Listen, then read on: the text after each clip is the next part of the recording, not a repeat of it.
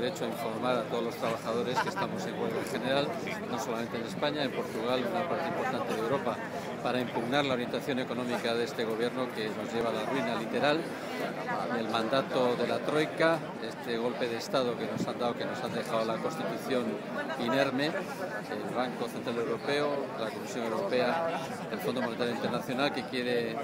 literalmente destruir todas las conquistas sociales que habíamos adquirido desde el año 77 y 78. Por lo tanto, estamos aquí. Es, de lamentar que el Gobierno ha dado instrucciones a través del Ministerio del Interior para intentar convertir esta huelga en un problema de orden público. Y, en este sentido, aquí en Fuencarral, eh, el, responsable de la fuerza de antidisturbios ha impedido que los compañeros y compañeras de los sindicatos pudieran acceder hasta el límite de la empresa, como marca la ley, para poder informar